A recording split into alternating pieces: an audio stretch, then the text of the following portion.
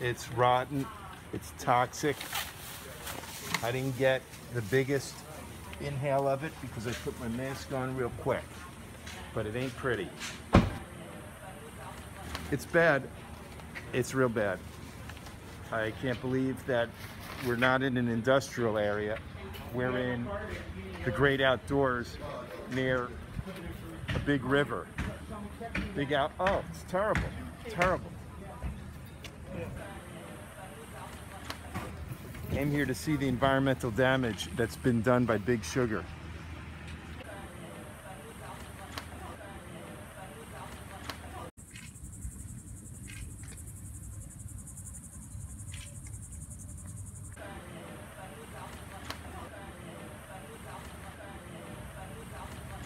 My name's Kenny Hinkle Jr. I fight for my community. I'm president of bullsugar.org. I'm a father, I'm, I'm a husband. I have a 13 year old daughter that, that was born and raised here in Martin County. This is my backyard. If, if somebody was polluting your backyard, you'd stand up. You can't just dump your crap in my backyard and expect me not to stand up and fight for it. We know that we have a political problem that needs a political solution. We have all the science, all the hydrology. We know what the problem is. It's corrupt, broken system of politicians that favor agriculture instead of human interest.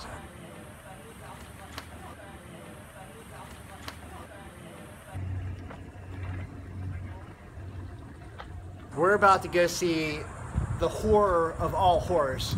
We're walking closer to this canal that goes right out to an inlet. It smells awful. And there you see it. Hard to imagine any sea life surviving this.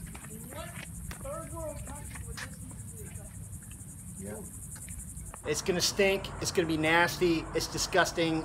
And this is the toxic petri dish that's turned of my community.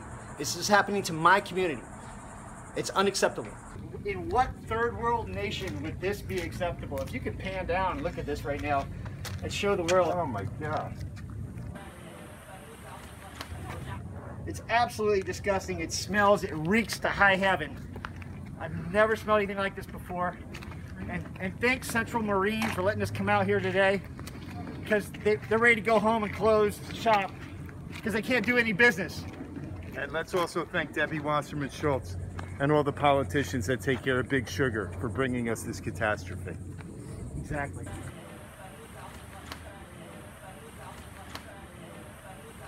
I just saw the, the algae bloom right here at the marina. It's awful.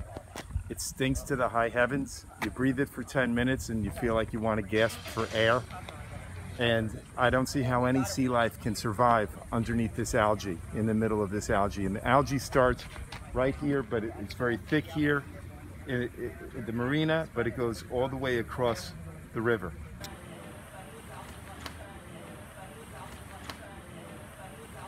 I've been around water all my life. I grew up right there on a bay, and this is awful. I've never seen anything like it. And it's brought to us by politicians like Debbie Wasserman Schultz, who've been taking a lot of money from big sugar interests, big corporations, and she's been protecting them, allowing them to pollute for years, and it's caught up. You can't kick the can down the road that long. We've run out of road. This is 4th of July weekend, and we're killing our tourist economy. We're killing it with toxic algae from Lake Okeechobee.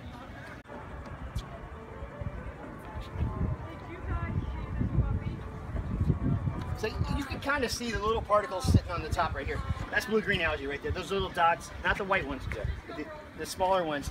That's a single-cell organism, cyanobacteria. It's floating on top of the water. Kenny, it's manatee country, huh?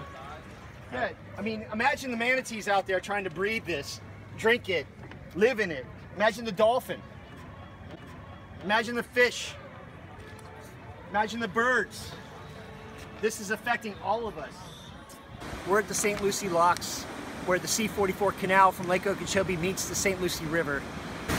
The, the massive amount of water coming through the C-44 into the St. Lucie River is catastrophic an entire economy and an ecosystem. You gotta see this believe it. And this is reduced discharges.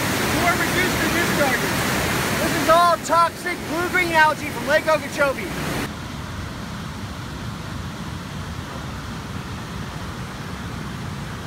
So these manatees are stuck here at the St. Lucie locks until they open and let them downstream or upstream.